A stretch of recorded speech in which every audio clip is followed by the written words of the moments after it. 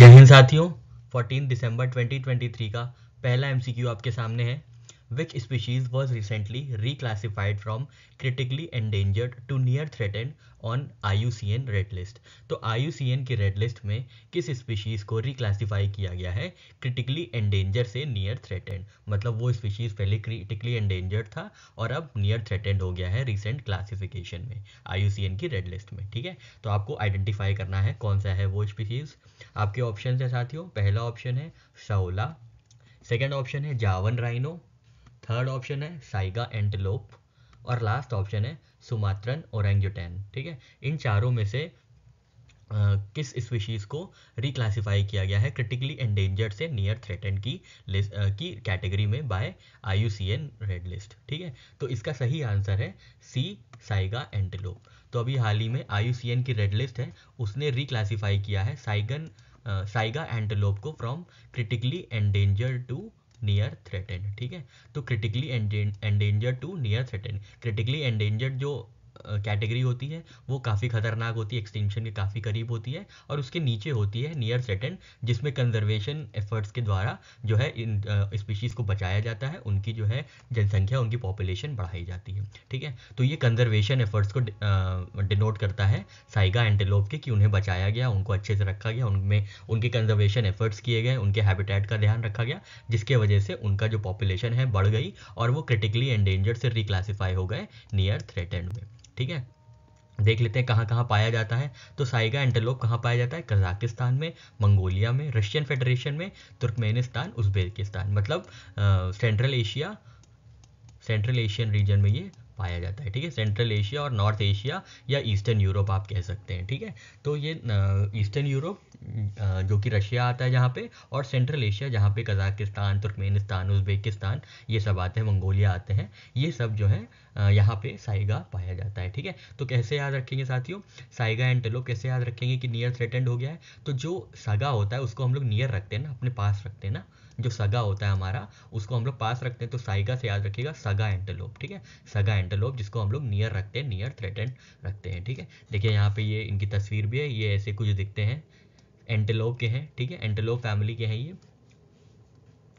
तो यहाँ पे देख लीजिएगा साइगा एंटेलोप जो है इनको नियर थ्रेटेंड में की कैटेगरी में जो है डिफाइन किया गया है पहले कितने में थे पहले क्रिटिकली एंडेंजर्ड थे आई की रेड लिस्ट में पहले ये क्रिटिकली एंडेंजर्ड में थे उसके बाद ये लोग नियर थ्रेटेड में आ गए हैं ठीक है तो याद रखिएगा जो सगे होते हैं ना उनको हम लोग पास रखते हैं नियर रखते हैं तो कौन सा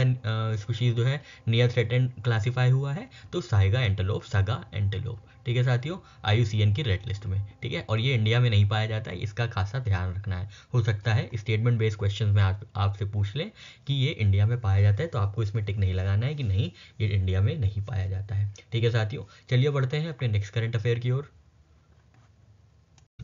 नेक्स्ट क्वेश्चन है साथियों आपके सामने यू ए कंसेंसस से रिलेटेड तो आप जानते हैं जो यू e में एनुअल क्लाइमेट समिट हो रही है ठीक है जो हम लोग ने बात की थी पिछले करंट अफेयर्स में हम लोग ये बात कर चुके हैं कि जो एनुअल क्लाइमेट हो रही है एनुअल क्लाइमेट समिट हो रही है सी ओ वो दुबई यू e में हो रही है तो वहाँ पर कंसेंसस फाइनल हुई है एक सहमति बनी है जिसके बारे में आपको बताना है ठीक है उसी के बारे में आपसे ये क्वेश्चन पूछा गया है तो आपका आपका क्वेश्चन है देख लीजिए पढ़ लीजिए according According U U A consensus by what year are parties encourage to reach net zero in terms of fossil fuels तो नेट ज़ीरो जो है फॉसिल फ्यूल्स का कब तक अचीव करने की बात हुई है यू ए कंसेंसिस में ठीक है यू ए कंसेंसिस में पार्टीज कब तक नेट जीरो पहुंचेंगी फॉसिल फ्यूल के यूसेज में आपको ये बताना है आपके ऑप्शन है साथियों पहला ऑप्शन है ट्वेंटी थर्टी सेकेंड ऑप्शन है ट्वेंटी फोर्टी थर्ड ऑप्शन है ट्वेंटी फिफ्टी और लास्ट ऑप्शन है ट्वेंटी सिक्सटी तो आपको बताना है फॉसिल फ्यूल का जो यूसेज है उसका जो net zero term net zero usage होगा वो कब तक हो जाएगा यू ए कंसेंसस के अनुसार ठीक है तो इसका सही आंसर है 2050 ठीक है 2050 तक जो है आ, सारी पार्टीज जो हैं जो भी सी में सी 28 में जो भी पार्टीज जिन्होंने साइन किया है यू ए कंसेंसस में उनको फॉसिल फ्यूल्स नेट जीरो कर देना पड़ेगा ट्वेंटी तक ठीक है इसका ये मतलब नहीं है कि कुछ भी जलेगा नहीं या कोई भी फॉसिल फ्यूल नहीं होगा बट जितना भी फॉसिल फ्यूल इमिनेट होगा ओरिजिनेट होगा एटमोसफेयर में उसको कैप्चर कर लिया जाएगा या उनकी जगह पर कुछ ऐसी एफिशिएंसी टेक्नोलॉजी यूज़ होंगी जो कि नेट ज़ीरो कर देंगी मतलब कोई भी जो कार्बन उत्सर्जन हुआ है वो हुआ ही नहीं माना जाएगा जो भी कार्बन एमिशंस हुई हैं उनको कैप्चर कर लिया जाएगा ठीक है और या तो कोई ऐसी टेक्नोलॉजीज़ हुई हैं जो कार्बन एमिशन को बहुत कम कर देगा ठीक है नेट ज़ीरो का मतलब ये होता है इसका मतलब ये नहीं होता कि बिल्कुल कोल यूज यूसेज ज़ीरो हो जाएगा या पेट्रोलियम यूसेज ज़ीरो हो जाएगा इसका ये मतलब है कोई ऐसी टेक्नोलॉजी हो जाएगी जो पहले अगर सौ कोल यूज़ कर रही थी मान लीजिए तो वो अब पाँच कोल ही यूज़ करेगी ठीक है तो इसके भी चलते ये नेट ज़ीरो माना जाएगा और कहीं से भी ये कम होते होते एकदम ज़ीरो हो जाए ऐसा तो ऐसा हो जाए तब ये माना जाएगा नेट ज़ीरो हो गया ठीक है तो आप ऐसे ध्यान रखिएगा मतलब यहाँ पे देखिए यहाँ पे ये 95 इन्होंने बचा लिया ना 95 कोल इन्होंने बचा लिया और कहीं पे कोई एमिट कर रहा है वो पाँच एमिट कर रहा है ठीक है तो 95 और ये 500 हो गया तो मिल गया एक तरीके से एक तरीके से नेट ज़ीरो ही हो गया वो ठीक है तो इसको नेट ज़ीरो कहते हैं ठीक है तो ये याद रखिए आप कि ट्वेंटी तक नेट ज़ीरो हो जाएगा फॉसिल फ्यूज़ का जो कंजम्पन है या यूसेज है ठीक है ट्रांजिशन हो जाएगा away from fossil fuels to reach net zero by twenty ठीक है ट्वेंटी तक जो है फॉसिल फ्यूज़ का जो ट्रांजिशन है वो नेट ज़ीरो हो जाएगा और याद रखिएगा ट्वेंटी फिफ्टी तक ठीक है तो याद रखिएगा फ्यूल्स में पांच लेटर है ना तो पांच पचास ठीक है फाइव से याद रखिए यहाँ पे फाइव होगा तो ट्वेंटी फिफ्टी आप ऐसे याद रख सकते हैं ठीक है ट्वेंटी फिफ्टी तक इसको कर लिया जाएगा ठीक है फॉसिल फ्यूल्स का पूछा है तो फ्यूल्स में कितने लेटर है एक दो तीन चार पाँच ठीक है तो पाँच लेटर है इसमें तो याद रखिएगा जो भी ईयर होगा उसमें पाँच होगा तो याद रखिएगा पचास ठीक है तो दो हज़ार पचास तक ये काम करना है कि नेट ज़ीरो करना है फॉसिल फ्यूल का यूसेज ठीक है कुछ और चीज़ें हैं यू ए कंसेंस से रिलेटेड तो हम लोग उनके बारे में नेक्स्ट स्लाइड में बात करते हैं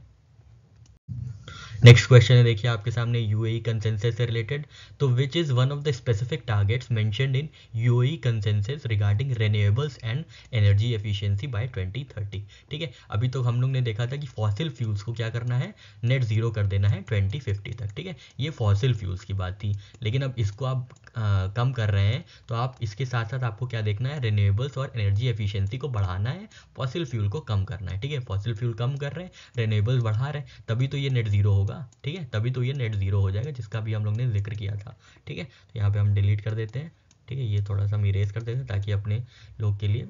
आगे स्पेस रहे ठीक है तो आपको ये बताना है कि रिनेबल्स और एनर्जी एफिशिएंसी के लिए क्या कंसेंसस में डिसाइड हुआ है क्या स्पेसिफिक टारगेट्स डिसाइड हुए हैं बाय 2030 आपको ये बताना है आपके ऑप्शंस हैं पहला ऑप्शन है डबलिंग रिनेबल्स क्या रिनेबल्स जो है वो डबल हो जाएंगे by twenty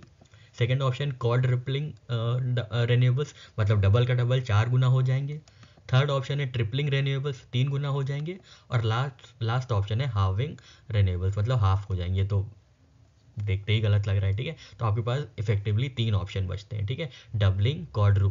और ट्रिपलिंग ठीक है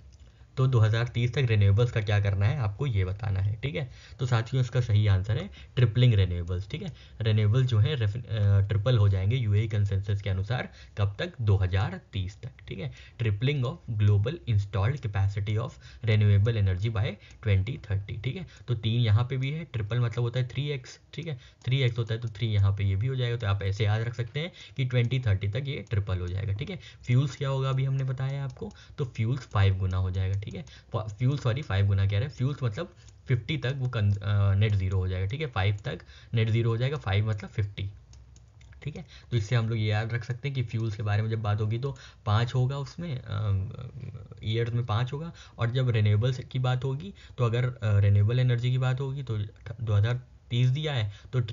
थ्री गुन तीन गुना हो जाएगा थ्री एक्स हो जाएगा अगर थ्री एक्स दिया है अगर आपसे पूछा है ट्रिपल रिन्यूएबल कब तक करना है तो आपको याद रखना तो आपको याद ही रहेगा थ्री यहाँ पे भी है तो तीस तक ये ट्रिपल करना है ठीक है तो यहाँ पे दोनों में ही तीन तीन है ठीक है रिन्यूएबल्स में तीन तीन है फ्यूल्स में पाँच है ठीक है रिन्यूएबल में तीन है फ्यूल्स में पाँच है और एक चीज़ है देखिए ध्यान दीजिए ये doubling global average annual rate of energy efficient improvements by 2030 ठीक है जो ये डबल हो जाएगा कहाँ क्या डबल हो जाएगा एनर्जी एफिशियंसी इंस्ट्रूमेंट्स ठीक है एनर्जी एफिशियंसी इंप्रूवमेंट्स होंगे कितने डबल रेट से होंगे ठीक है तो यहाँ पे फिर से देख लेते हैं फ्यूल्स क्या होगा फ्यूल्स हो जाएगा नेट ज़ीरो कब तक फ्यूल्स में पांच लेटर हैं तो पांच मतलब 2050 तक ठीक है रेनेबल्स क्या है रेनेबल्स आप याद रखिएगा सन होता है ना रेनेबल तो इसमें तीन लेटर हैं तो जो होगा ये तीन गुना हो जाएगा ठीक है इसकी कैपेसिटी तीन गुना बढ़ा दी जाएगी इसको यूज़ करने की इसकी एनर्जी यूज़ करने की और तीन गुने से मतलब कब तक ट्वेंटी थर्टी तक ठीक है ये दो चीज़ हो गई और लास्ट में क्या है एनर्जी एफिशिएंसी इंप्रूवमेंट्स ठीक है एनर्जी एफिशिएंसी इंप्रूवमेंट्स क्या हो जाएगा डबल हो जाएगा ठीक है energy efficiency E e E e, याद रखिएगा energy efficiency E E energy efficiency में दो लेटर है तो टू एक्स हो जाएगा लेकिन ये कब तक होगा ट्वेंटी थर्टी तक ठीक है ट्वेंटी थर्टी तक ठीक है ये तीनों गोल हम लोग ने यहाँ पे लिख लिए शांति से अब हम लोग फिर से एक बार रिवाइज कर लेते हैं फ्यूल्स कब तक नेट जीरो करना है फ्यूल्स में पाँच लेटर होते हैं तो पाँच मतलब पचास तो दो हज़ार पचास तक ये हो गया अपना रेन्यूएबल्स एनर्जी का क्या है तो रेन्यूएबल्स एनर्जी कौन सी है सन है मान सन याद रखिएगा ठीक है सन सन में तीन लेटर होते हैं तो थ्री एक्स करना है मतलब ट्रिपल करना है रेन्यूएबल की कैपेसिटी ठीक है बाइक बाई कब तक बाई विच ईयर तो तीन एक्स है तो इसमें भी तीन होगा ईयर में भी तीन तो दो हज़ार तीस तक ठीक है एनर्जी एफिशियंसी का क्या करना है तो एनर्जी एफिशियंसी में दो वर्ड है एनर्जी एफिशियंसी तो इनको दो गुना करना है लेकिन ये कब तक करना है ये भी दो हज़ार तीस तक करना है ठीक है साथियों तो यहाँ पे हम लोग ने यू ए e अपना पूरा ही अच्छे तरीके से याद कर लिया अब अगर एग्जाम में इससे रिलेटेड किसी से भी प्रश्न आते हैं तो बहुत आसानी से आप करके इसको एक्यूरेटली कर पाएंगे ठीक है साथियों चलिए बढ़ते हैं अपने नेक्स्ट करेंट अफेयर की ओर नेक्स्ट क्वेश्चन है साथियों आपके सामने how many new airports does Modi government plan to construct in Uttar Pradesh within next two years as unveiled by union civil aviation minister ज्योतिरित Jyotiraditya Scindia तो ज्योतिरादित्य सिंधिया साहब जो हमारे यूनियन सिविल एविएशन मिनिस्टर हैं उन्होंने कितना एयरपोर्ट कंस्ट्रक्ट करने की बात कही है उत्तर प्रदेश में ठीक है कितने नए एयरपोर्ट जो हैं कंस्ट्रक्ट होंगे उत्तर प्रदेश में अगले दो सालों में आपको ये बताना है आपके ऑप्शन हैं पहला ऑप्शन है सिक्स सेकेंड ऑप्शन है नाइन थर्ड ऑप्शन है ट्वेल्व और लास्ट ऑप्शन है आपके सामने फिफ्टीन ठीक है तो आप लोग ये देखते रहिए कि कितने नए जो है एयरपोर्ट्स आएंगे उत्तर प्रदेश में अगले दो सालों में तो इसका सही आंसर है नाइन ठीक है नाइन एयरपोर्ट जो है नए बनाए जाएंगे अभी इसका इसकी जानकारी ज्योतिरादित्य सिंधिया साहब ने दी है जो हमारे यूनियन सिविल एविएशन मिनिस्टर साहब हैं ठीक है और टोटल फिर कितने हो जाएंगे टोटल एटीन एयरपोर्ट्स हो जाएंगे यूपी में ठीक है तो ध्यान दीजिएगा कि नाइन नए एयरपोर्ट्स आ रहे हैं यूपी में ठीक है यूपी में नए कितने एयरपोर्ट्स आ रहे हैं तो नाइन नए नाइन नए एयरपोर्ट्स आ रहे हैं और ये अगले दो सालों में ही आएंगे और टोटल कितनी हो जाएगी फिर एयरपोर्ट की संख्या उत्तर प्रदेश में तो 18 हो जाएगी ठीक है तो 18 टोटल जनसंख्या सॉरी संख्या हो जाएगी एयरपोर्ट में ठीक है एयरपोर्ट की संख्या दो आ, मतलब नौ से नौ नौ जोड़ने के बाद 18 हो जाएगी तो अभी नौ है फिर और नौ जोड़ जाएंगे तो अट्ठारह हो जाएंगे ठीक है याद रखिएगा नौ नए एयरपोर्ट आएंगे अगले दो सालों में ठीक है चलिए बढ़ते हैं अपने नेक्स्ट करंट अफेयर की ओर नेक्स्ट क्वेश्चन है साथियों आपके सामने how much is the second tranche approved by international monetary fund for Sri Lanka under extended fund facility तो श्रीलंका को आई एम एफ ने सेकेंड ट्रांच में कितना अमाउंट अप्रूव किया है आपको ये बताना है ठीक है आपको पता होगा श्रीलंका जो है फाइनेंशियल क्राइसिस से जूझ रही है काफ़ी दिनों से लगभग साल भर हो गया है तो पहला ट्रांच उसको दिया जा चुका है एक्सटेंडेड फंड फंड फैसिलिटी के अंदर आपको ये बताना है सेकेंड ट्रांच में आई एम एफ ने कितना लोन या कितना अमाउंट अप्रूव किया है श्रीलंका को ठीक है आपके ऑप्शन है पहला ऑप्शन है two twenty million dollars second option है two eighty seven million dollars third option है three hundred thirty seven million dollars और लास्ट ऑप्शन है four hundred twenty million dollars ठीक है तो श्रीलंका को आप जान रहे होंगे कि फाइनेंशियल क्राइसिस से जूझ रही है तो उन्होंने आईएमएफ का दरवाज़ा खटखटाया है कि हमें भैया लोन दे दो हम इस चीज़ को भरना चाहते हैं फाइनेंशियल क्रंच जो है हमारी कंट्री झेल रही है इतने वहाँ पे दिक्कतें थी कि अभी पावर कट हो गई थी चौदह चौदह पंद्रह पंद्रह घंटे पावर कट्स रहती थी तो वहाँ पे कई लोग मतलब वहाँ पे सिटीजन्स को काफ़ी जो है परेशानियाँ महसूस करनी पड़ रही हैं इसी के कारण ठीक है तो आपको ये बताना है सेकेंड ब्रांच में आईएमएफ ने कितना अमाउंट अप्रूव किया है श्रीलंका को अंडर एक्सटेंडेड फंड फैसिलिटी तो साथियों इसका सही आंसर है ऑप्शन सी 337 मिलियन डॉलर्स ठीक है 337 मिलियन डॉलर जो है रिलीज़ किया गया है सेकेंड ब्रांच में आई द्वारा ठीक है याद रखिएगा 337 मिलियन डॉलर्स और टोटल इनको कितना मिलेगा तो टोटल 3 बिलियन डॉलर्स मिलेगा ठीक है इनको फाइनेंशियल रिकन्स्ट्रक्शन के लिए 300 3 बिलियन डॉलर्स मिलेगा फ्रॉम आईएमएफ ठीक है टोटल कितना इनको रिसीव हो चुका है अभी तक तो 670 मिलियन डॉलर्स रिसीव हो चुका है out of anticipated 3 billion dollars from IMF ठीक है तो याद रखिएगा श्रीलंका एस आर आई ठीक है एस आर आई तो इसमें तीन है ना तो जो भी होगा सेकेंड ट्रांच जो है वो तीन तीन सात मिलियन है ठीक है आप ऐसे थोड़ा सा दिमाग लगा सकते हैं थोड़ा सा याद रख सकते हैं और टोटल कितना है थ्री बिलियन ठीक है तो तीन लेटर है ना ये देखिए तीन लेटर है एस आर आई ठीक है तो जो सेकेंड ट्रांच वाला है उसमें भी तीन तीन करके आ, आ, अमाउंट अप्रूव किया गया है और टोटल अमाउंट जो है वो तो हाई है थ्री बिलियन डॉलर्स ठीक है तो एक एक बिलियन सबको मतलब एक बिलियन एस को एक बिलियन आर को और एक बिलियन आई को ठीक है भैया अपना एक एक बिलियन लो और फाइनेंशियल रिकन्स्ट्रक्शन करो ठीक है और सेकेंड ब्रांच में three three seven million dollar जो है अप्रूव किए गए हैं ठीक है साथियों आशा करते हैं आपको ये ट्रिक समझ में आई होगी बढ़ते हैं अपने नेक्स्ट करेंट अफेयर की ओर नेक्स्ट क्वेश्चन है साथियों आपके सामने what is the main objective of Mahalakshmi scheme of Telangana तो महालक्ष्मी स्कीम जो है तेलंगाना की उसका मेन ऑब्जेक्टिव क्या है आपको ये बताना है आपके ऑप्शन है पहला ऑप्शन है free health care for women second option है free education for girls third option है free travel for women girls and transgender person और लास्ट ऑप्शन है affordable housing for transgender person तो इन चारों में क्या ऑब्जेक्टिव है महालक्ष्मी स्कीम जो कि तेलंगाना स्टेट द्वारा चलाई गई है आपको ये बताना है ठीक है तो साथियों इसका सही आंसर है option C free travel from for women girls and transgender person ठीक है तो पहले तो आपको ये याद रखना है कि महालक्ष्मी स्कीम किसकी है तो तेलंगाना की है तो हम लोग कहाँ थे यहाँ साथियों हाँ तो हम लोग ने आंसर देख लिया था कि जो तेलंगाना स्कीम तेलंगाना स्टेट है उन्होंने लॉन्च की है महालक्ष्मी स्कीम महालक्ष्मी स्कीम जिसके अंतर्गत क्या होगा विमेन गर्ल्स और ट्रांसजेंडर्स को फ्री ट्रैवल की सुविधा मिलेगी ठीक है फ्री ट्रैवल की सुविधा मिलेगी किसको किसको सिर्फ विमेन को ही नहीं विमेन को भी गर्ल्स को भी और ट्रांसजेंडर पर्सन को भी ठीक है और ये कौन तो याद रखिएगा महालक्ष्मी स्कीम कहाँ की है तेलंगाना की है इनका ऑब्जेक्टिव क्या है free travel from for women and transgender person ठीक है women girls and transgender person के लिए फ्री मूवमेंट जो है अलाउ किया जाएगा महालक्ष्मी स्कीम के अंदर ठीक है तो याद रखिएगा कैसे याद रखेंगे लक्ष्मी जी के सामने जो लक्ष्मी जी होती है ना लक्ष्मी जी माँ लक्ष्मी जो होती हैं उनके सामने हम तेल का दिया जलाते हैं ठीक है तेल का दिया जलाते हैं कि आप हमारे घर में आइए पधारिए और रहिए ठीक है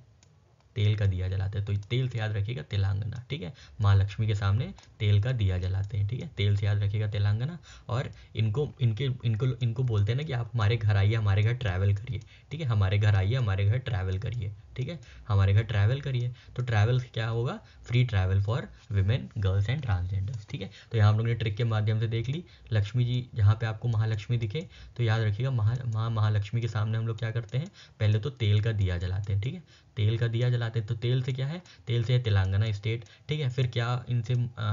इनसे माँ लक्ष्मी से हम लोग प्रार्थना करते हैं कि आप हमारे घर में ट्रैवल करिए और रहिए तो ट्रैवल से याद रखिएगा हमारे घर में ट्रैवल करिए तो ट्रैवल से याद रखिएगा इस स्कीम की जो ऑब्जेक्टिव है वो free travel for women girls and transgenders है ठीक है साथियों आशा करते हैं आपको ये ट्रिक समझ में आई होगी बढ़ते हैं अपने नेक्स्ट करंट अफेयर की ओर नेक्स्ट क्वेश्चन है साथियों आपके सामने which is the first entity to list on social stock exchange तो वो पहली कौन सी एंटिटी है जिसको लिस्ट किया गया है सोशल स्टॉक एक्सचेंज में आपको ये बताना है आपके ऑप्शन हैं पहला ऑप्शन है उन्नति सेकेंड ऑप्शन है ग्रीन इनिशिएटिव थर्ड ऑप्शन है ग्लोबल हेल्थ केयर फाउंडेशन और लास्ट ऑप्शन है एजुकेशनल एंटरप्राइजेस लिमिटेड ठीक है इन चारों में से सोशल स्टॉक एक्सचेंज में पहली लिस्ट होने वाली एंटिटी कौन है आपको ये बताना है तो साथियों इसका सही आंसर है उन्नति ठीक है तो स्किलिंग एन है ये उन्नति जो कि फर्स्ट है to list on social stock exchange ठीक है नाम से ही समझ में आ रहा है सोशल स्टॉक एक्सचेंज क्या करेगा जो सोशल एंटरप्राइजेस हैं एन हैं उनको क्या करेगा फंडिंग प्रोवाइड करेगा उनको इनकी फंडिंग जो है स्केलेबिलिटी होगी वो अपने फंड्स रेज कर पाएंगे through this stock exchange mechanism ठीक है तो this will help social enterprises to raise funds from public through stock exchange mechanism ठीक है तो ऐसे स्टॉक सोशल स्टॉक एक्सचेंज में ऐसे जैसे कुछ लोग होंगे कुछ एंटिटीज़ होंगी एजुकेशन में काम कर रही होंगी कुछ हेल्थ में काम कर रही होंगी कुछ वुमेन एम्पावरमेंट में काम कर रही होंगी कुछ पर्सन विद डिसेबिलिटीज़ के एम्पावरमेंट में काम कर रही होंगी तो जब ये लोग लिस्ट होंगी तो जो है इन्वेस्टर्स अपने अपने हिसाब से जो कि फिलेंथ्रफिक इन्वेस्टर्स हो सकते हैं वो अपने अपने हिसाब से इन्वेस्ट कर सकते हैं मान लीजिए किसी को स्किलिंग में इन्वेस्ट करना है किसी को एजुकेशन में इन्वेस्ट करना है किसी को विमेन एम्पावरमेंट में इन्वेस्ट कर रहे हैं तो ऐसे ये लोग फंड्स रेज कर सकते हैं सोशल इंटरप्राइजेस ठीक है तो पहला सोशल इंटरप्राइज जो कि लिस्ट हुआ है सोशल स्टॉक एक्सचेंज में वो है उन्नति ठीक है तो ये उन्नति है सोशल स्टॉक एक्सचेंज की ठीक है अब कौन कौन से सोशल एंटरप्राइज कहलाएंगे जो कि लिस्ट हो सकते हैं जो जो कि डेमोन्स्ट्रेट करेंगे सिक्सटी पर seven percent of their activities have targeted undeserve और सर्व सॉरी अंडरसर्व और लेस प्रिविलेज पॉपुलेशन सेगमेंट्स और रीजन्स ठीक है तो वही एंटिटी सोशल एंटरप्राइज कहलाएगी जो कि 67 परसेंट ऑफ देयर एक्टिविटीज़ को जो कि डायरेक्ट करेगी टुवर्ड्स अंडर सर्वड और लेस प्रिविलेज पॉपुलेशन सेगमेंट ठीक है तो उन्हीं को क्या किया जाएगा उन्हीं को सोशल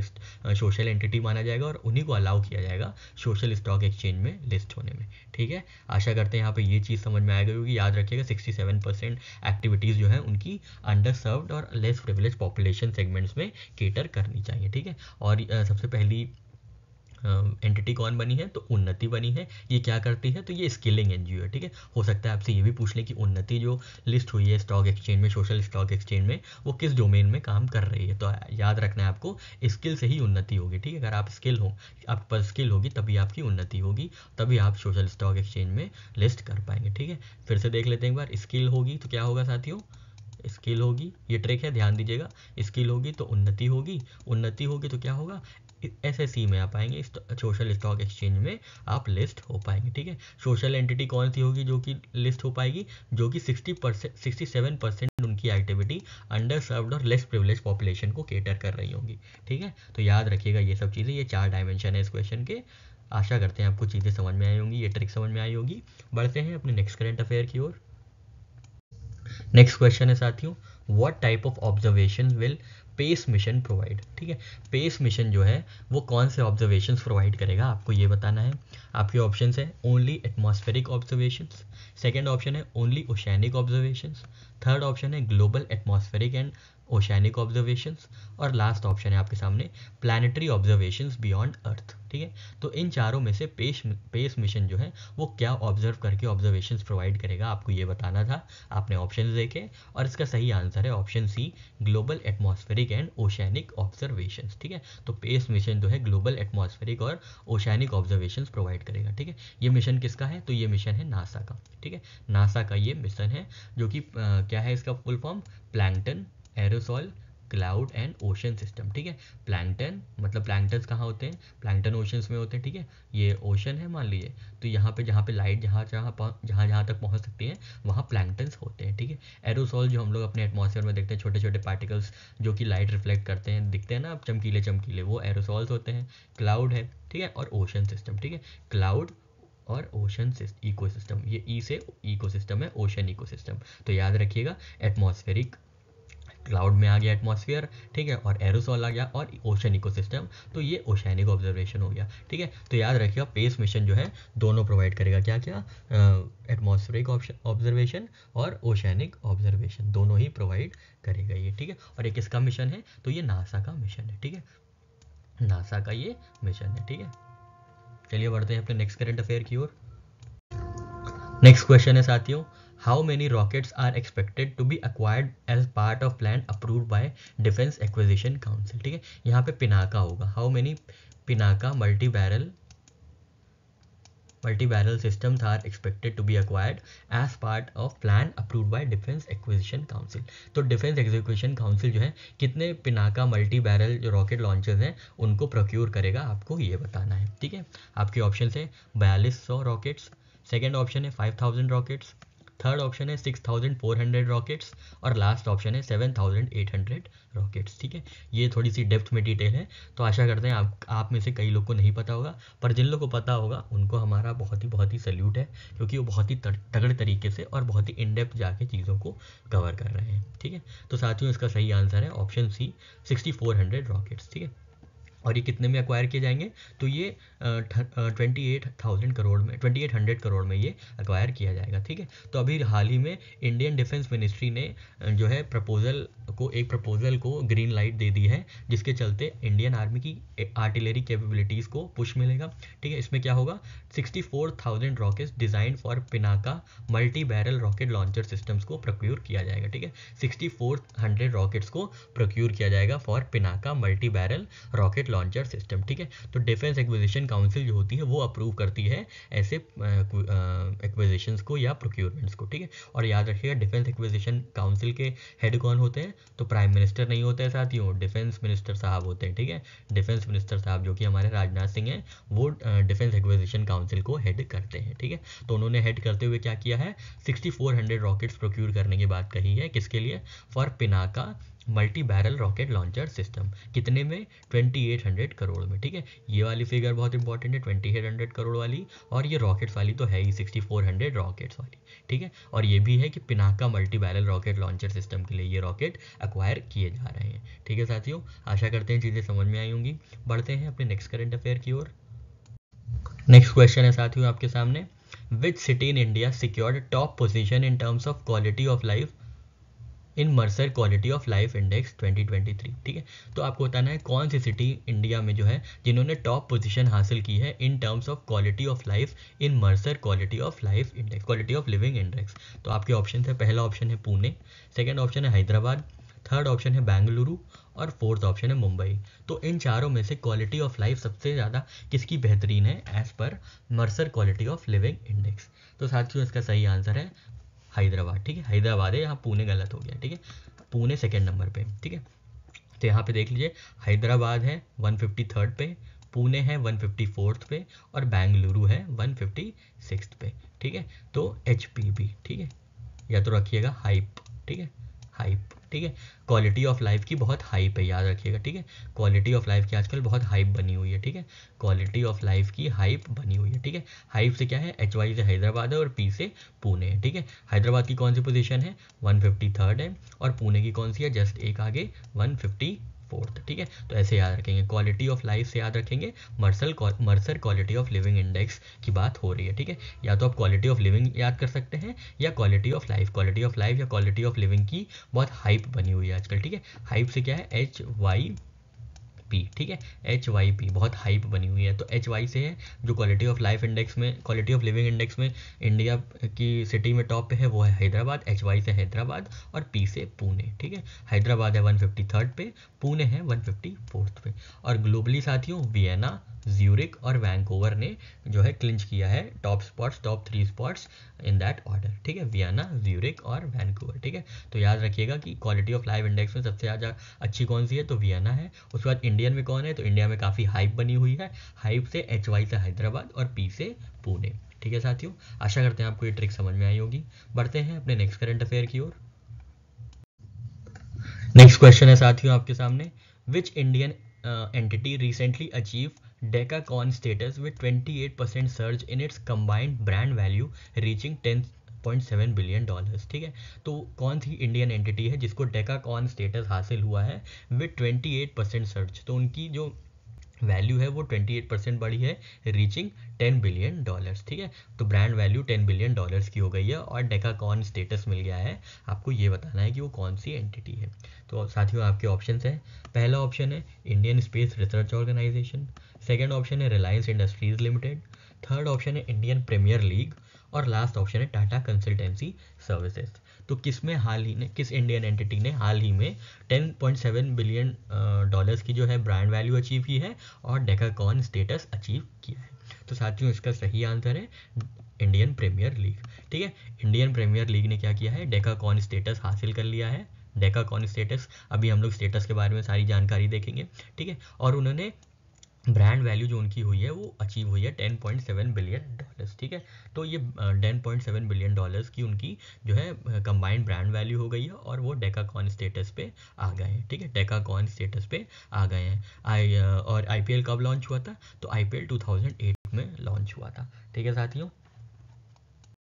तो साथियों अभी हम लोग ने देखा कि आई ने डेका कॉर्न स्टेटस अचीव कर लिया है ठीक है डेका कॉर्न स्टेटस अचीव कर लिया है अब हम लोग देखते हैं क्या वैल्यूएशन होती है तो डेका कॉर्न स्टेटस हासिल होता है ठीक है तो सबसे पहले होता है मिनी कॉर्न ठीक है मिनी कॉर्न क्या होता है जहाँ पे valuation at least one million dollar की होती है ठीक है वन मिलियन डॉलर की अगर वैल्यूएशन है तो वो मिनी कॉर्न होता है ठीक है फिर सोनी कॉर्न कौन सा होता है जो कि वन बिलियन डॉलर पर पहुँचने वाला होता है ठीक है soon to be valuation of one million ठीक है यहाँ पे सून टू बी वैल्यूएबल तो सोनीकॉर्न ठीक है वन मिलियन से वन बिलियन डॉलर पहुंचने वाली को सोनीकॉर्न कहते हैं ठीक है वन बिलियन पहुंच जाती है तब यूनिकॉर्न कहते हैं ठीक है वन बिलियन के बाद टेन बिलियन पे पहुंच जाती है तो उसको डेकाकॉर्न कहते हैं और 10 मिलियन 10 बिलियन डॉलर के बाद 100 बिलियन डॉलर हो जाती है तो हेक्टोकॉर्न कहते हैं ठीक है ये पांच कैटेगरीज है थोड़ा ध्यान रखिएगा मिनी मतलब एटलीस्ट वन मिलियन डॉलर होना चाहिए ठीक है यहाँ पे वन मिलियन डॉलर होना चाहिए ठीक है soonicorn soon to be one billion one million ठीक है soon to be one billion sorry ठीक है वन मिलियन यहाँ पे और soon to be one billion ठीक है मतलब पॉइंट नाइन एट मिलियन हो गया ठीक है ऐसे कर करके पहुंचने वाली हो जो वन बिलियन में उसको सूनीकॉर्न कहते हैं और जो पूरी तरीके से वन बिलियन डॉलर पे पहुंच जाए वैल्यूएशन जिसकी या ज़्यादा ज़्यादा हो जाए तो उसको यूनिकॉर्न कहते हैं ठीक है अब यहाँ पे वन बिलियन डॉलर हो गया अब कहाँ पहुंचना है तो अब टेन बिलियन डॉलर पे पहुंचना है ठीक है तो टेन बिलियन डॉलर पे जो पहुंचेगा उसको डेकाकॉन स्टेटस मिलेगा ठीक है टेन बिलियन के बाद कौन पहुंचेगा कहाँ पे तो हंड्रेड बिलियन डॉलर पे पहुंचेगा ठीक है तो हंड्रेड बिलियन डॉलर पे जो है हेक्टाकॉर्न हेक्टोकॉर्न जो है स्टेटस मिलता है ठीक है चलिए बढ़ते हैं अपने नेक्स्ट करेंट अफेयर की ओर नेक्स्ट क्वेश्चन है साथियों आपके सामने what are the three key domains assessed by global peace index ठीक है तो ग्लोबल पीस इंडेक्स के कौन से वो महत्वपूर्ण तीन डायमेंशन है आपको ये बताना है आपके ऑप्शन हैं पहला ऑप्शन है economic stability political freedom and environmental sustainability second option है societal safety and security ongoing domestic and international conflict militarisation levels third option है education quality health care accessibility and technological advancement और last option है cultural diversity gender equality और income distribution तो इन तीनों में से ग्लोबल पीस इंडेक्स जो है किन की डोमेन किन तीन की डोमेन्स को असेस करता है फिर अपनी रैंकिंग निकालता है आपको ये बताना है तो साथियों इसका सही आंसर है ऑप्शन बी नाम से ही समझ में आ रहा होगा ऑप्शन से ही समझ में आ रहा होगा कि सोसाइटल सेफ्टी और सिक्योरिटी कितनी है ongoing domestic and international conflict कितना है उस कंट्री का और मिलिटराइजेशन लेवल कितना है उस कंट्री का तो ये ग्लोबल पीस इंडेक्स जो है वो ये मेजर करता है ठीक है तो सबसे ज़्यादा सेफेस्ट कंट्री कौन सी है अभी तक तो सबसे ज़्यादा सेफेस्ट कंट्री आइसलैंड है ठीक है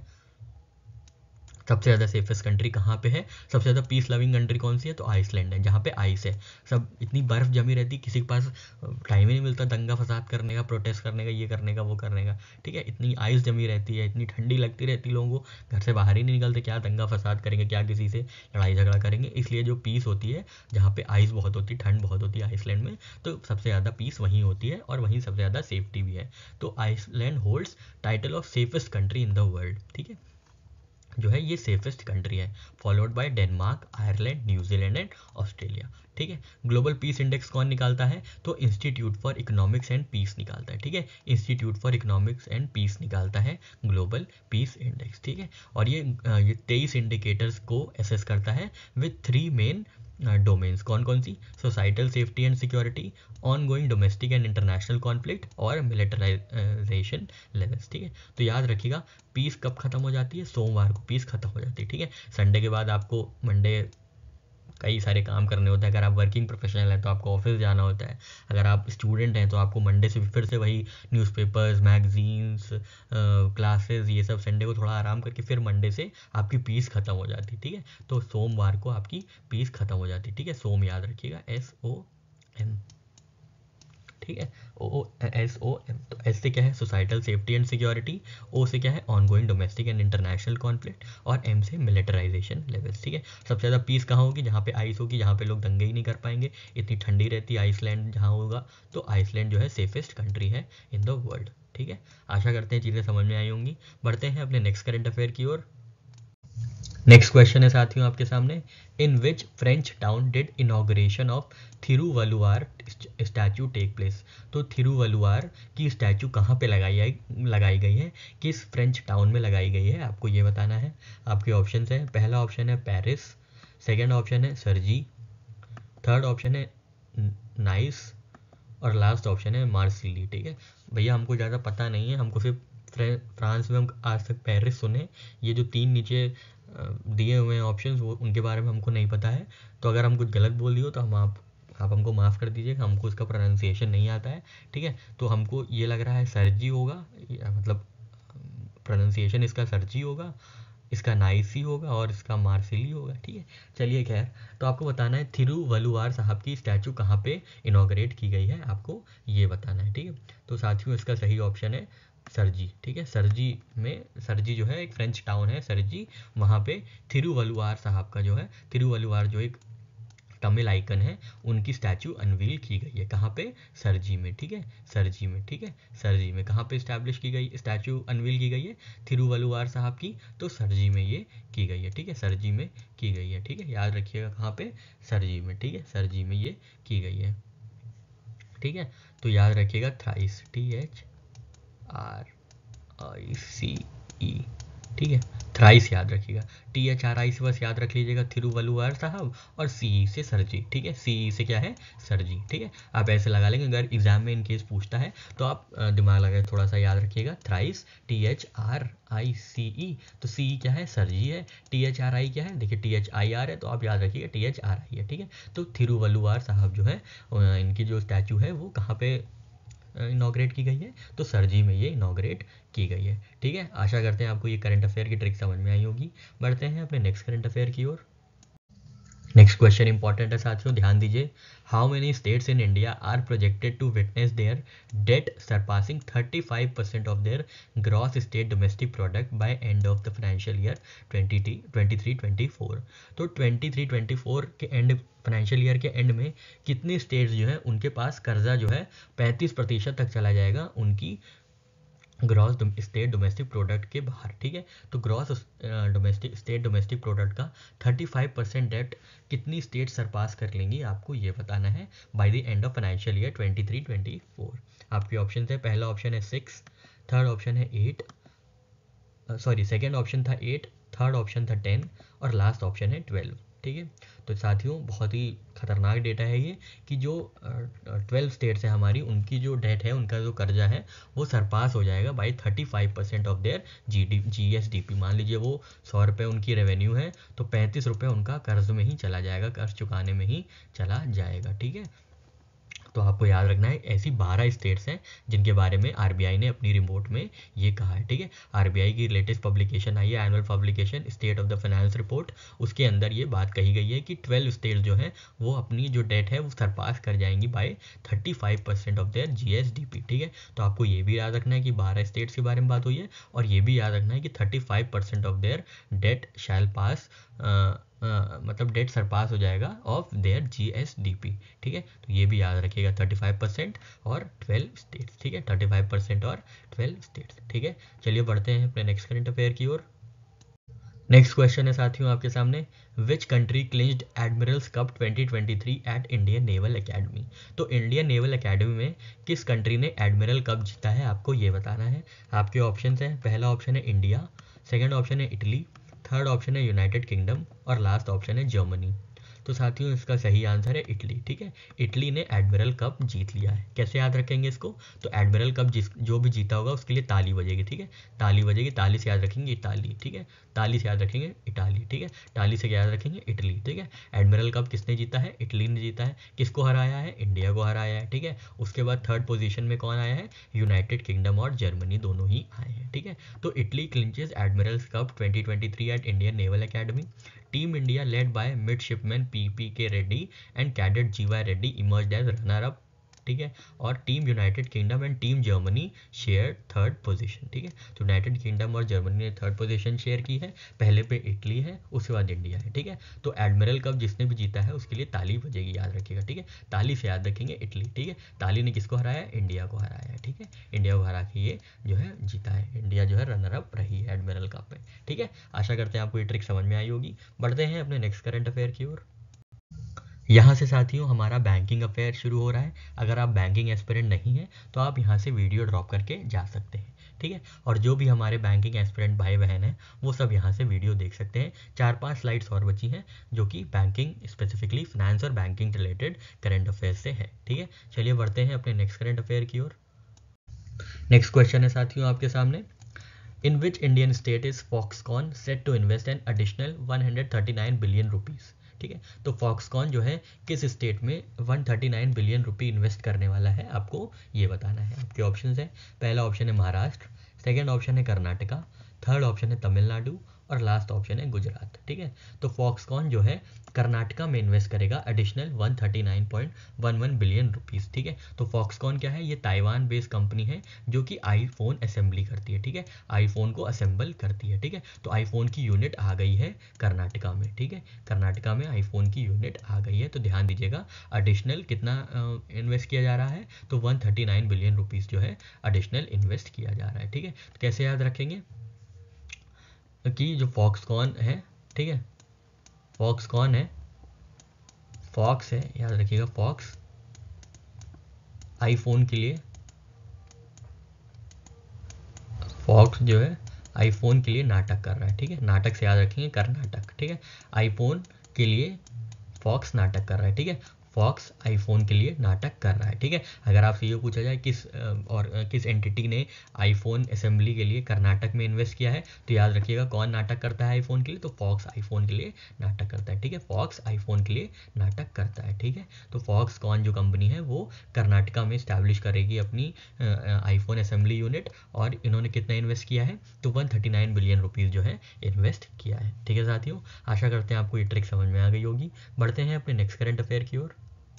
नेक्स्ट क्वेश्चन काफ़ी इंपॉर्टेंट है साथियों आपको ये बताना है according to recent RBI survey how many Indian bank significantly increase their overseas presence in physical year 22-23 तो आरबीआई के मुताबिक कित, कितने इंडियन बैंक्स ने अपनी प्रेजेंस ओवरसीज बढ़ा ली है 22-23 23 फाइनेंशियल ईयर में फिजिकल ईयर में ठीक है तो पिछले साल तक कितने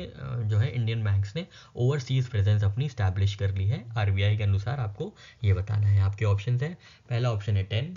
सेकेंड ऑप्शन है फोर्टीन थर्ड ऑप्शन है ट्वेंटी और लास्ट ऑप्शन है ट्वेंटी फाइव ठीक है तो कितने इंडियन बैंक्स ने ओवरसीज uh, प्रेजेंस अपनी स्टैब्लिश की है पिछले साल twenty twenty three twenty twenty two twenty twenty three में तो साथियों इसका सही आंसर है फोर्टीन ठीक है फोर्टीन बैंक्स ने जो है अपनी फॉरेन ब्रांचेस खोल ली है या सब्सिडरीज खोल ली है ठीक है फोर्टीन बैंक्स और टोटल इंडिया इंडियन बैंक्स की ब्रांचेज और सब्सिडरीज कितनी हो गई हैं तो फोर हंड्रेड ठीक है फोर्टीन इसका उल्टा फोर्टी वन या 417 ठीक है ऐसे याद रखिएगा 14 बैंक्स और टोटल ब्रांचेस कितनी हुई 14 का उल्टा 14 का उल्टा 41 और सात ऐसे ही याद रख लीजिएगा ठीक है तो ऐसे आप दोनों ही चीज़ याद रख पाएंगे ठीक है 41 का उल्टा करेंगे तो 14 ब्रांचेस ठीक है 14 ब्रांचेस फोर्टीन इंडियन बैंक्स ने अपनी प्रेजेंस uh, कर ली है और टोटल ब्रांचेस कितनी हुई टोटल ब्रांचेस या सब्सिडरीज इसी का उल्टा 41 या 417 ठीक है 417 जो है टोटल ब्रांचेस हो गई हैं पिछले साल कितनी थी मतलब फिजिकल ईयर 21 22 में तो 399 थी ठीक है 399 तो बढ़ के कितनी हो गई है 41 हो गई है ठीक है 41 मतलब 417 हो गई है ठीक है साथियों आशा करते हैं आपको ये ट्रिक समझ में आई होगी बढ़ते हैं अपने नेक्स्ट करेंट अफेयर की ओर नेक्स्ट क्वेश्चन है साथ हूँ आपके सामने Reliance Industries has partnered with which of the following bank in India for financing programme targeting farmers and aggregators for managing crop residue and producing compress biogas ठीक है तो रिलायंस इंडस्ट्रीज ने किसके साथ मिलकर कंप्रेस बायोगैस प्रोड्यूस करने का जो है पार्टनरशिप की है आपको ये बताना है किस इंडियन बैंक के साथ मिलकर रिलायंस इंडस्ट्रीज ने कंप्रेस बायोगैस को प्रोड्यूस करने के लिए पार्टनरशिप की है आपको ये बताना है आपके ऑप्शन है पहला ऑप्शन है H D F C bank second option है D bank India third option है स्टेट बैंक ऑफ इंडिया और लास्ट ऑप्शन है आपका आई बैंक तो साथियों इसका सही आंसर है डी बैंक ठीक है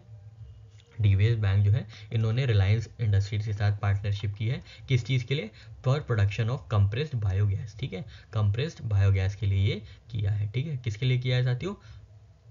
कंप्रेस्ड बायोगैस के लिए ठीक है तो याद रखिएगा डॉक्टर ने क्या किया है डॉक्टर ने बायो ली थी ठीक है डॉक्टर डॉक्टर जो होते हैं वो बायो लेके पढ़ते हैं ना बायो से याद रखिएगा बायोगैस और डॉक्टर से याद रखिएगा डी से डीबीएस बैंक ठीक है और आर से रिलायंस ठीक है तो याद रखिएगा डॉक्टर ने बायो ली थी ठीक है ये ट्रे के साथ साथियों ध्यान दीजिएगा डॉक्टर ने बायो ली थी बायो से क्या है बायोगैस प्रोडक्शन कौन कर रहा है तो डॉक्टर कर रहा है डॉक्टर कर रहा है या तो आप ये भी याद रख सकते हैं डॉक्टर बायोगैस प्रोड्यूस कर रहा है ठीक है डॉक्टर बायोगैस प्रोड्यूस कर रहा है तो डी से याद रखिएगा डीबीएस बैंक और आर से रिलायंस तो ये दोनों मिलके पार्टनरशिप किए हैं बायोगैस प्रोडक्शन के लिए ठीक है आशा करते हैं आपको ये ट्रिक समझ में आ गई होगी एक बार फिर से देख लेते हैं तो डॉक्टर क्या कर रहा है डॉक्टर बायोगैस प्रोड्यूस कर रहा है ठीक है बायोगैस प्रोड्यूस कर रहा है ठीक है डॉक्टर से क्या है डी से डीबीएस बैंक है और आर से रिलायंस इंडस्ट्रीज है ठीक है अगर आपसे पूछेगा डीबीएस बैंक के साथ किसने बायोगैस प्रोडक्शन के लिए पार्टनरशिप की है तो आपको याद रहेगा डॉक्टर तो डी से डीबीएस बैंक ऑलरेडी पूछा हुआ है और क्या पूछ रहा है तो रिलायंस आर के बारे में पूछ रहा है तो याद रखिएगा रिलायंस इंडस्ट्रीज ठीक है और डी से डीबीएस बैंक यहाँ पे जैसे पूछा है कि रिलायंस इंडस्ट्रीज तो आप याद रखिएगा आर पूछा आर दिया गया है क्या पूछा है तो कौन सा कौन सी एंटिटी के साथ मिलके बायोगैस प्रोड्यूस कर रहे हैं तो याद रखिएगा कौन बायोगैस प्रोड्यूस करता है तो डॉक्टर करता है तो डी मिसिंग है डी से क्या है डी से डी बैंक ठीक है आशा करते हैं आपको ये करंट अफेयर की ट्रिक समझ में आई होगी बढ़ते हैं अपने नेक्स्ट करंट अफेयर की ओर नेक्स्ट क्वेश्चन है साथियों आपके सामने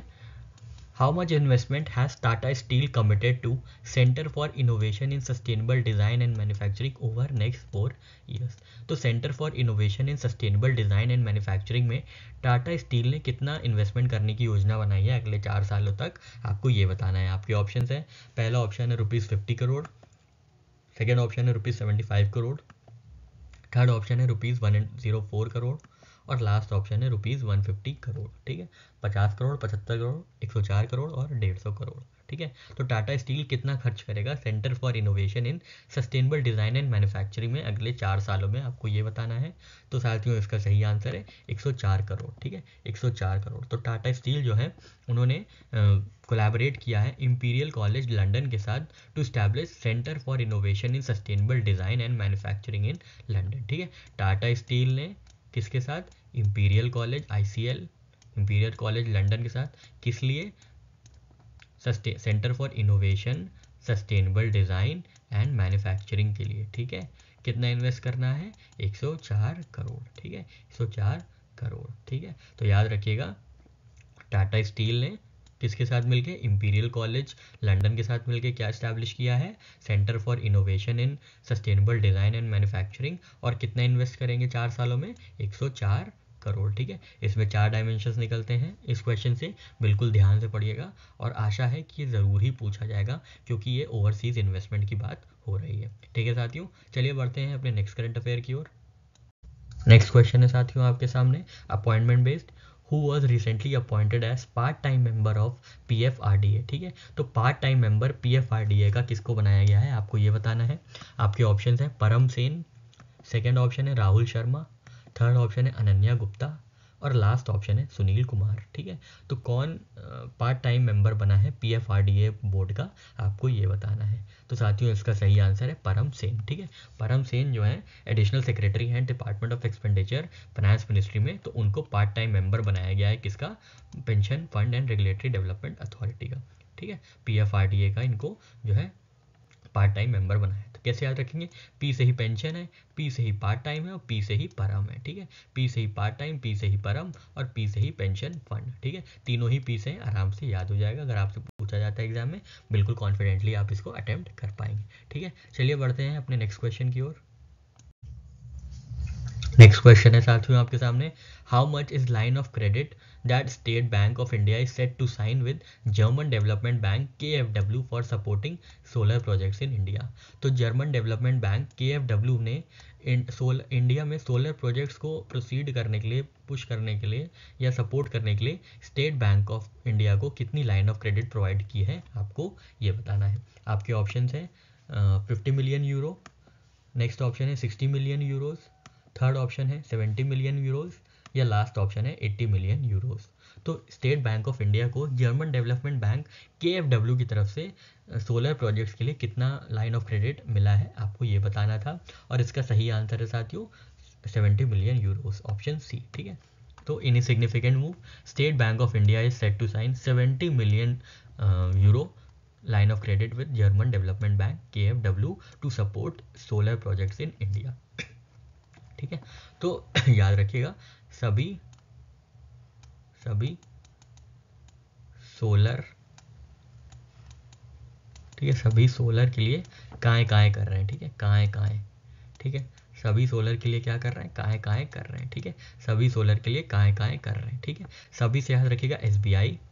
सोलर से याद रखिएगा सोलर प्रोजेक्ट्स और काएँ काएँ से याद रखिएगा के एफ डब्ल्यू ठीक है तो याद रखिएगा अगर आपसे ये पूछा जाता है कि के एफ डब्ल्यू ने किसको लाइन ऑफ क्रेडिट किया है सोलर प्रोजेक्ट्स के लिए तो आपको याद रहेगा ये पूरी लाइन याद रखिएगा सभी ने सोलर प्रोजेक्ट्स के लिए काएँ काएँ किया ठीक है सभी सोलर प्रोजेक्ट्स के लिए काएँ काएँ कर रहे हैं ठीक है तो सभी से क्या है एस ठीक है अगर आपसे ये पूछा जाएगा एस को किसने लाइन ऑफ क्रेडिट दिया है फॉर सोलर प्रोजेक्ट्स तो याद रहेगा एस जो है सभी सोलर के लिए काएँ काएँ कर रहे हैं तो काएँ काएँ पूछा है काएँ से याद रखिएगा जाएगा के एफ डब्ल्यू ठीक है K F W K F W ठीक है और अगर आपसे पूछा जाता है कि एस बी आई और आ, ने आ, जो है जो है लाइन ऑफ क्रेडिट रिसीव किया है काएँ काएँ मतलब के एफ डब्ल्यू से किस पर्पज़ के लिए तो आपको याद रहेगा सभी किसके लिए काएँ काएँ कर रहे हैं तो सोलर के लिए काएँ काएँ कर रहे हैं ठीक है सभी सोलर के लिए काएँ काएँ कर रहे हैं तो ये जो है है सोलर के लिए ये जो है लाइन ऑफ क्रेडिट मिला है ठीक है और याद रखेगा कितना मिला है तो सेवेंटी मिलियन यूरोस मिला है ठीक है सेवेंटी मिलियन यूरो जो है प्राप्त हुआ है ठीक है सत्तर मिलियन यूरोज मिला है ठीक है सोलर आ, सोलर प्रोजेक्ट्स के लिए इंडिया में जर्मन डेवलपमेंट बैंक काय का है मतलब के की तरफ से किसको सभी को सभी मतलब एस ठीक है तो याद रखेगा सभी सोलर के लिए काय काय कर रहे हैं ठीक है आशा करते हैं आपको ये ट्रिक समझ में आ गई होगी तो साथियों यहाँ पे हमारा पूरा सेशन समाप्त होता है